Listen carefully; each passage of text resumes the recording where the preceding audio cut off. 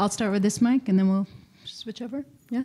Um, I'm, maybe this is a question for Jeff. Um, I'm thinking about power in argumentation and reasoning. I mean, your example of what restaurant to go to, and obviously there's a whole um, issue of the relationship context and whose turn is it to choose and whose priorities get you know and, and who's the parent and who's not the parent and so i'm just wondering how reasoning deals with power you know how do you think about the application or the sort of um, ecological context under which reasoning is conducted? And then i think it also relates a little bit to the article you were mentioning because it feels like if there's some evolutionary benefit to reasoning or to, to argumentation, to sort of reasoned argumentation, whatever its flaws, it strikes me that that would have to happen in some context of some sort of some sort of egalitarian context because uh, if you're more powerful, physically powerful, why would you need to have a, a well-reasoned argument if if the you know it seems like among equals is where your reasoning matters, but those seem to be not so common and maybe there's a certain time in our evolution in which that became more common and, and, and that seems like that would be the place where you could imagine some sort of conferral of, of benefit in natural selection. Um, some, I, I, I always have this trouble with the and I should be doing more doing more reading, but the evolutionary psychology perspective that it, they always some of it, it, it sort of slips into just so you know this is why it evolved, yes, it and, and and that it's always and, tricky. And that's the bad stuff. Yeah, yeah, I mean, so anyway, so I, am curious about sort of how does, you know, is is the sort of relational context or the power, how does that play into how you think about everyday reasoning? Because it seems like everyday reasoning is happening in that kind of context. Okay, so Emily, I think your question starts here, and then it moves over to Wendelin. So I'm gonna okay. I'm gonna answer the part. uh, the power part. That's a that's a very interesting case. Um, I would classify it under reasoning about the strength of reasons, which is my example wasn't very good. It's a it's a very sophisticated thing to do. So take take a a court um, that's constrained by another court, and or, or a judge that's constrained by some other judge's opinion, and the judge recognizes the constraint but doesn't agree with the reasoning that the other judge used to get to that opinion. That happens all the time. That's a very frequent phenomenon. So you get a very you get a very complex view of the of the strength of the reason that is given to you. You you, you say I, I recognize the authority of that person to give me a reason, although I think they're a moron for arriving at this decision. Yet this is what I'm going to do. So, and and the parent case, you know, you can because I'm your mother.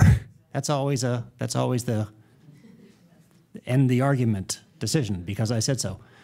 Um, so I think it's I think it's always I think it's a reasoning about the strength of reasons. I, I think can vary from context to context. It's very sophisticated, and there are other issues involved. I once was trying to explain this to some um, people, and somebody somebody raised his hand and said something that just made me think, "Oh my God, it's so it's so hopeless." He said because um, it opened up a whole new level of complexity for me.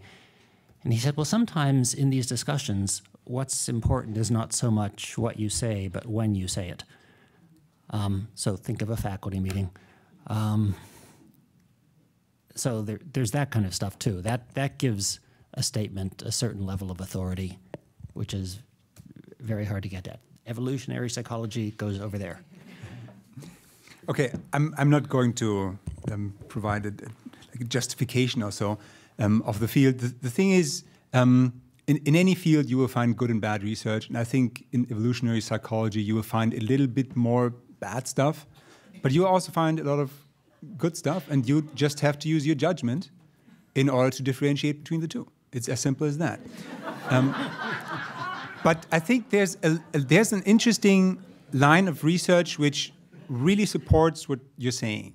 Um, I mean, one thing um, we, we know from um, paleoanthropology is that, I mean, the, the story of the evolution of modern humans is in part one of species losing these strong intersexual dominance hierarchies which you find among all the other apes. I mean, gorillas and orangutans, uh, the, the males, the dominant males, they even have these physiological signs, the silverbacks and, and these, these um, chins of the orangutans, which show um, like physiologically to, to other individuals who the boss is. And um, you, you, just have a lot of evidence that the, the, the lineage which led to humans um, um, lost many of these traits rather early on, and we became much more peaceful than other apes, and um, also the, the intrasexual dominance hierarchies just became lower and lower. And now you have this this amazing species with um, like biological correlates of um, paternal investment, for instance, which you do not really have in other apes, which is really interesting. And I mean, part of this pacification process is that it opens up for more complex negotiations of power. And this is something which has been studied in a lot of um, cultures around the world, um, and which you find systematically. Like you, you find that cultures all over the world question their leaders, and that the position of um, the stability of the leadership position is just much uh, less available than in other species. And that's partly because humans are able to talk to each other and use this talk in order to um, to gang up on some leader they don't do not like. And yeah, so I, I think that there's an interesting story for you there.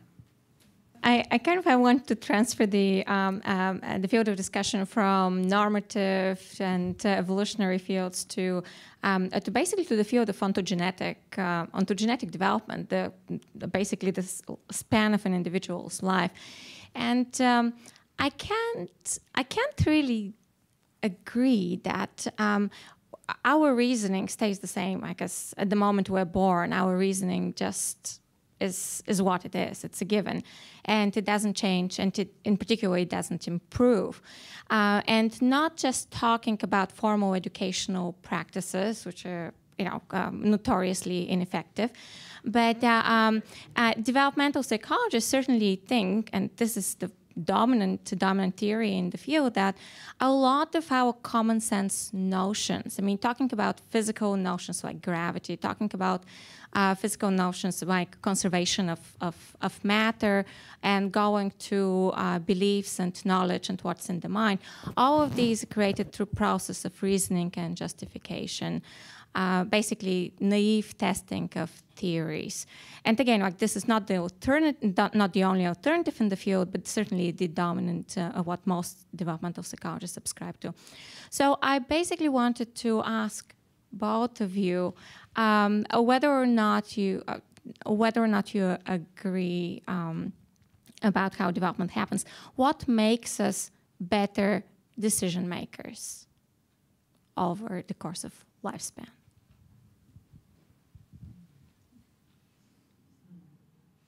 I, I don't know. I don't have an answer to that. I'm not qualified to answer that. Uh, I'll tell you what my theory says. more knowledge, more more rules, more subtle rules, more subtly interconnected rules coming from experience and so on. Um, now, how you realize when you need to modify rules—that's a question I'm really interested in. So, you're, you've, why do you add junk to your to your system. Why not just run with what you have? But uh,